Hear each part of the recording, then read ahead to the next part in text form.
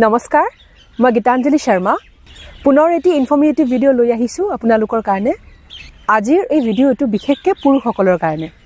পুৰুষসকলৰ মনলৈ নিশ্চয় এটা প্ৰশ্ন আহে যে মই মোৰ পত্নীৰ শৰীৰৰ কোনটো অংগ স্পৰ্শ কৰিলে মোৰ পত্নী বেছি উত্তেজিত হ'ব? এই প্ৰশ্নটো শুনিবলৈ যিমান সহজ যেন লাগিছে উত্তৰ কিন্তু সিমান সহজ নহয় কাৰণ ইয়াৰ উত্তৰ কেইবাটাও আছে। আহক প্ৰথমতে এটা কথা জানি লওঁ। পুৰুষ আৰু মহিলাৰ শৰীৰ বেলেগ বেলেগ।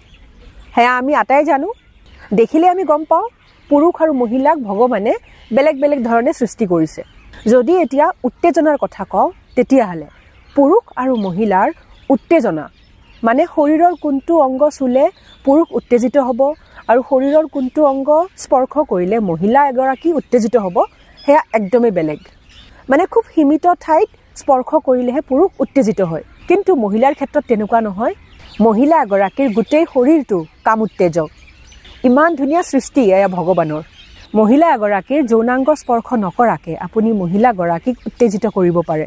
পুৰুষসকলৰ এনেকুৱা লাগিব মহিলাৰ শৰীৰৰ প্ৰতিটো অংগতে যেন কিবা এটা ৰহস্য লুকাই আছে। শৰীৰৰ কোনটো অংগ স্পৰ্শ কৰিলে মহিলাগৰাকী উত্তেজিত হ'ব সেয়া কিন্তু সকলোৰে কাৰণে বেলেগ। মহিলাগৰাকীৰ প্ৰায় প্ৰতিটো অংগতে যদি আপুনি স্পৰ্শ কৰে তেতিয়া মহিলাগৰাকী উত্তেজিত হয়।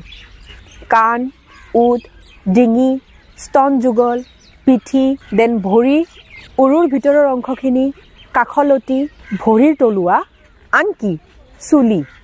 শৰীৰৰ ইমানবোৰ ঠাই আছে যি ঠাই স্পৰ্শ কৰিলে মহিলা এগৰাকী উত্তেজিত হয়। কিন্তু এয়া সকলোৰে ক্ষেত্ৰত একে নহয়। হাজবেণ্ড হিচাপে আপুনি আপোনাৰ ৱাইফৰ বডিক এক্সপ্ল'ৰ কৰক। আপুনি পতি দেৱতা নহয় জানো? পতি দেৱতা হিচাপে এয়া জনাটো আপোনাৰ দায়িত্ব যে আপোনাৰ পত্নীৰ শৰীৰৰ কোনটো অংগ স্পৰ্শ কৰিলে আপোনাৰ পত্নী উত্তেজিত হয়। চবতকৈ বঢ়িয়া উপায় কি জানে? আপুনি পত্নীৰ লগত খোলা মেলাকৈ কথা পাতক। আপুনি পত্নীক সোধক যে কোনখিনি ঠাই স্পৰ্শ কৰিলে তুমি ভাল পোৱা। যিমানকেইটা অংগৰ কথা মই ক'লোঁ সেই গোটেইকেইটা অংগ আপোনাৰ পত্নীৰ কাৰণে ইম্পৰ্টেণ্ট নহ'বও পাৰে। কাৰণ সকলোৰে ক্ষেত্ৰত একে নহয় মই আগতে কৈছোঁ। সেইকাৰণে আপুনি আপোনাৰ ৱাইফক সুধিব লাগিব। যেনেকৈ খানা বনাবলৈ আমি পাকঘৰত সোমাবই লাগিব তাৰপিছত প্ৰেক্টিকেলি আমি বস্তু এটা বনাব লাগিব। কিমান নিমখ লাগিব কিমান হালধি কিমান তেল মছলা কিমান। যেতিয়ালৈকে আমি এক্সপেৰিমেণ্ট নকৰোঁ যেতিয়ালৈকে আমি এক্সপ্ল'ৰ নকৰোঁ তেতিয়ালৈকে আমি কোনো ধৰণৰ ডিছ বনাব নোৱাৰিম। কেৱল কিতাপত পঢ়ি ৰেচিপি পঢ়ি আপুনি জানো কিবা বনাব পাৰিব। যৌনক্ৰিয়াও তেনেকুৱা এটা বস্তু।